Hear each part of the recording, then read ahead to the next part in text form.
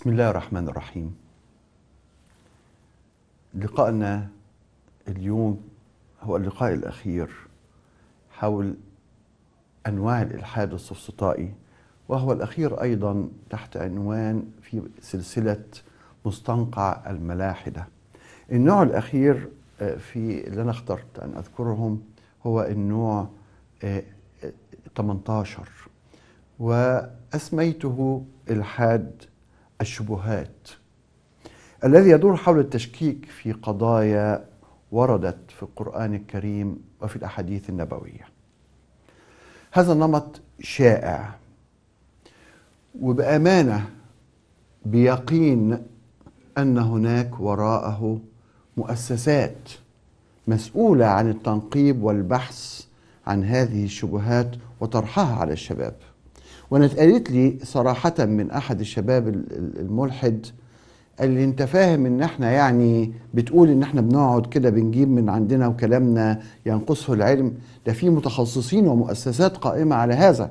حتى قال لي بالنسبة لاحتمال تحريف القرآن بيقول لي انت بتقول ان في كتب سماوية اتحرفت وكلام من ده. ده القرآن اتحرف. قلت له زي إيه؟ قال لي في دراسات كبيرة جدا اتعملت وطلع ان في حرف في المصحف في سورة كذا آية كذا موجود في بعض الطبعات ومش موجود في طبعات أخرى. أقسم بربي أن هذا قيل لي. فقلت له يا أخي أنت والله طمنتني. أنت أثبت صدق القرآن الكريم. لما بعد كل هذه الدراسات يطلع أن في حرف في طبعة ومش موجود في طبعة تانية. أنا فاهم تقول لي أن في طبعة بتقول أن محمد صلى الله عليه وسلم نبي وطبعة تانية بتقول أن هو ربنا. أنا فاهم الحكاية كبيرة يعني. إنما الموضوع يعني سهل خالص.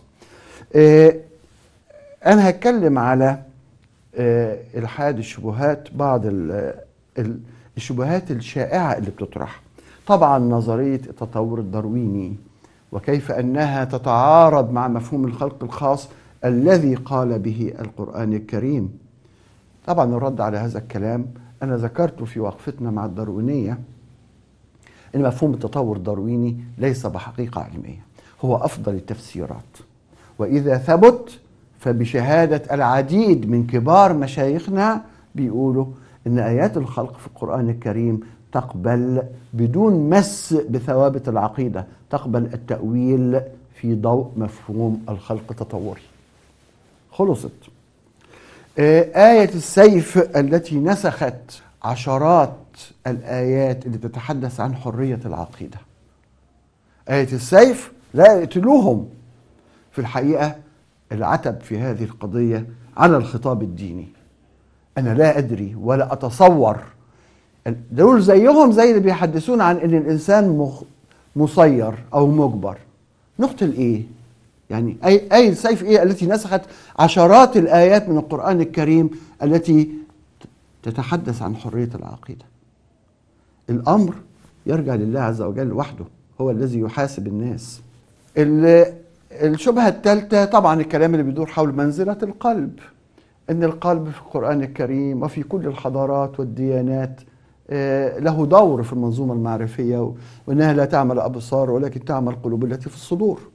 واتكلمنا إحنا في لقاء كامل عن القلب وقلت لا ندعي إن العلم أثبت إن القلب هو الذي يفكر ويعقل ولكن العلم أثبت أن للقلب دور في المنظومة المعرفية والشعورية.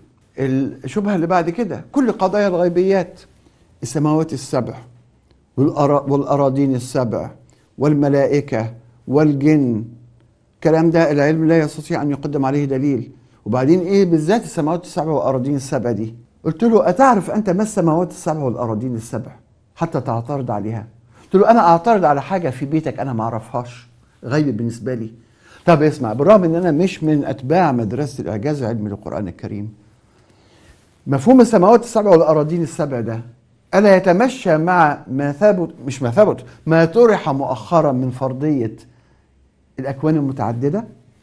وإن زي ما في هذا الكون في أكوان أخرى وكل واحد كأن فيك أنت نمط منك أنت في الكون الثاني والثالث والرابع يبقى في أرض في الكون الثاني والثالث والرابع. بس القرآن قصرهم على سبعة. مش متعددة إلى ما لا نهاية. ده طرح. يعني أقصد إن في مفاهيم الغيب لا تحاجني بها ولا أحاجك بها. لنا لنا ولا انت نعرفها عن يقين. من الشبهات إن في الكتب السماوية أحداث ليس عليها دليل. زي طوفان نوح زي أهل الكهف. ده أقول له إيه الدليل اللي أنت عاوزه؟ دي أحداث تاريخية يا ابني. المنهج التوثيقي في التاريخ أن أتوثق من مصدر الرواية فقط. فأنت عليك تدرس الكتاب المقدس اللي أنت بتؤمن بيه وتشوف هل هو ثقة أم لا.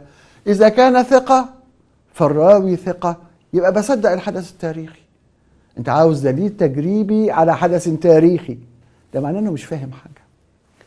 ده مش كده وبس. أصل معظم هذه الأحداث التاريخية زي طوفان نوح وزي قصة سيدنا يونس الذي التقمه الحوت وعدد من هذه القصص دي وردت عند البابليين والآشوريين والسامريين وكلام من ده. ده القرآن الكريم بتاعكم أخذ منها. والكلام ده اتقال لي في الملحد العراقي في المناظرة. قلت له لا ده أنا أؤيدك جدا في هذا. ده مش بس في الحضارات دي. القصص دي وردت في أكتر من 30 حضارة. قال لي إزاي؟ قلت له هو كده؟ لما تأملنا الأساطير بتاعت الحضارات لقينا الحديث عن الطوفان عن الرجل الصالح الذي التقمه الوحش. مرة الوحش حوت في, في القرآن ومرة الوحش تنين عند الصينيين ومرة الوحش طائر العنقاء ومرة الوحش كذا وكذا. في قصص في كل الحضارات عن العذراء الفاضلة التي أنجبت طفلا تكلم وأنجبته دون زواج. موجودة في كل الحضارات. قلت له ده معتبر الكلام ده ضد الديانات؟ قال تفسرها إزاي دي؟ قلت له تفسير من اتنين. يا إما الحضارات تناقلتها عن بعضها بس هذا الشيوع 30 حضارة اللي في الإسكيمو واللي في أستراليا واللي في أمريكا الجنوبية بعيدين جدا عن بعض لا يمكن أن يتناقلوها. اليوم تفسيرها إيه؟ مصدر واحد. بلغ ديانات وصلت إلى هذه الحضارات وأطلعهم على هذه القصص. فتبقت هذه القصص عند هذه الحضارات كأساطير. طبعا أفحم وكان أول مرة يسمع هذا الرد والتحليل ويعني قعد يعني يهلوس. برضو من القضايا اللي بيتكلموا فيها القرآن الكريم ركز على اليهود كتير قوي وده حق. اتكلم عليهم كتير جدا.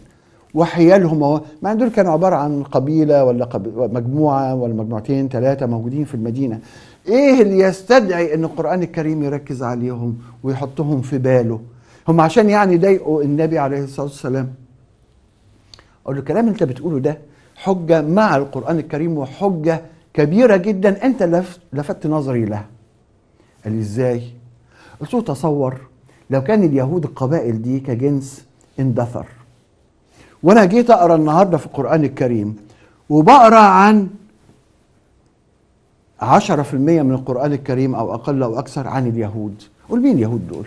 إيه الكتاب السماوي اللي باقي ليوم القيامة؟ وبيكلمنا عن مجموعة واندثرت.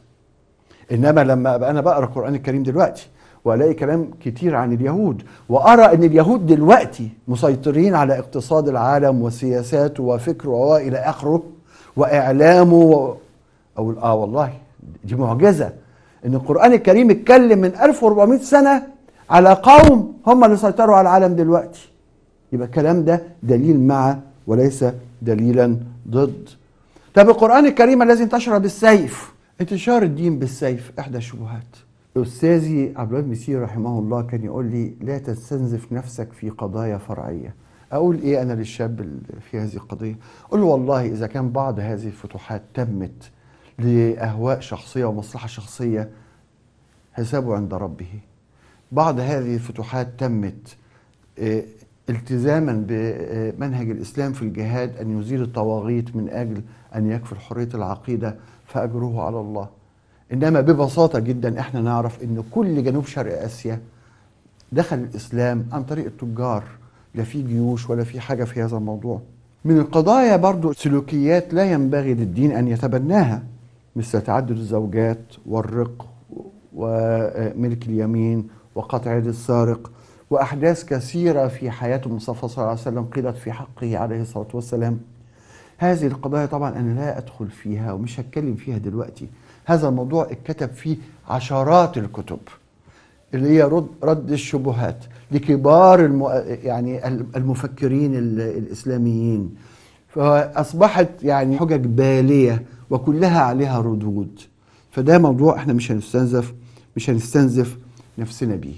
هو المؤلم إن كل من يطرح هذه الشبهات أسأله قريت حاجة من كتب رد الشبهات؟ يقول لي لا. قريت حاجة في التفاسير حول هذه الشبهات؟ يقول لي لا. أقول له أتتخذ قرارا في أخطر قضية في الوجود الإنساني دون أن تبذل جهدا في تمحيصها؟ ده أنت لو بتشتري, موبايل ولا بتشتري آيباد بتدرس الكتالوج وبتشوف قبل ما تختار.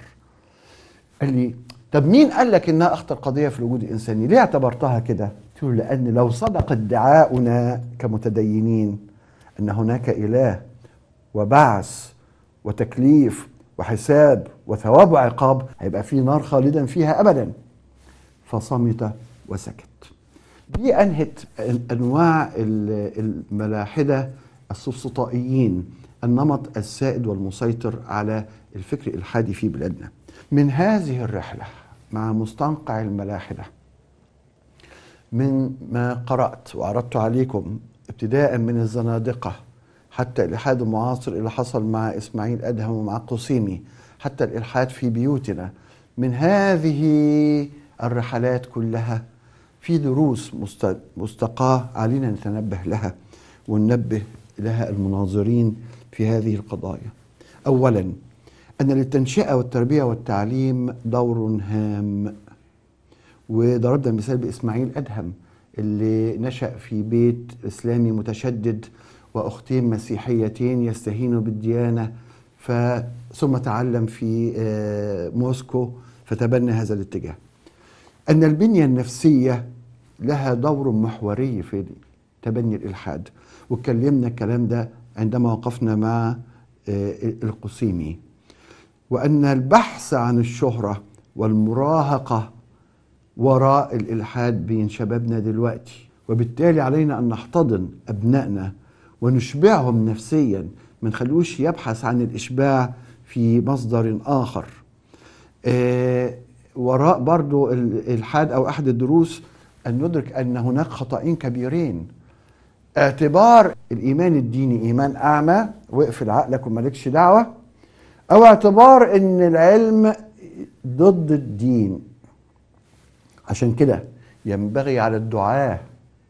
الدعاة على كل المستويات من المنبر لغاية الإعلام أن يتوسعوا في التثقيف حول الفلسفة والدين وهذه الأنواع من الإلحاد والشبهات وكيفية دحضها وإلى آخره. من الدروس أهمية التعامل بالرفق واللين والحوار وليس الزجر ورأينا كيف أن قسيمي عندما بدأت مرحلة التساؤلات المشايخ نهاروه وزجروه هاجموه. الإيمان بحرية الحوار يقول كل ما عنده مش يخفي ما عنده. لو صمم على التمسك بالإلحاد له هذا حسابه عند ربه. مش أنا اللي هأقيم عليه حد ولا أنا اللي هعمل إيه؟ لم أرى منهجا دينيا أو عقليا يقول لمخالفيه بسم الله الرحمن الرحيم قل هاتوا برهانكم إن كنتم صادقين. لم أرى منهجا يقول بسم الله الرحمن الرحيم ومن يدعو مع الله إلها آخر لا برهان له به فإنما حسابه عند ربه. أختم بأن أنا اتجاهي في الفترة الأخيرة لما بيجي حد عاوز يناظرني أو عاوز والدين عاوزين أقعد مع ابنهم بنطلق من جزئية أساسية. هل تدرك وده أحد الدروس المهمة أوي هل تدرك أن العقل البشري المحدود المخلوق لا يمكن أن يكون حكما على الإله المطلق ولا لا. واضرب له مثال اللي أنا قلته بحكاية النملة التي لا تدرك الحكمة من إني بحط ملح على الأكل ولا العروسة التي لا تدرك أن صاحب المحل يشتغل بالزنبلك ولا بالبطارية زي بقية العرايس. وإحنا كلنا من عالم المخلوقات فما أدراك بالخالق. لو اقتنع الشاب أول ما نقعد أو قبل ما نقعد حتى تليفونيا بهذه القاعدة أهلا وسهلا. لو لم يقتنع فيبقى نعرف أن الغرور الإنساني والكبر وشعوري بعقلي ورغبتي في أن أجعل الإله يعني تحت فحص عقلي وتحت حكم عقلي هو ده السبب في الإلحاد السبب الأكبر في الإلحاد وهو المصيبة التي أودت بإبليس إنها الكبر. ليس هناك سبيل للإيمان إلا من خلال التيقن بالعبودية لله عز وجل. ومن ثم الفكر لا يعارض ولا يقاوم إلا بالفكر. والله تعالى أعلى وأعلم.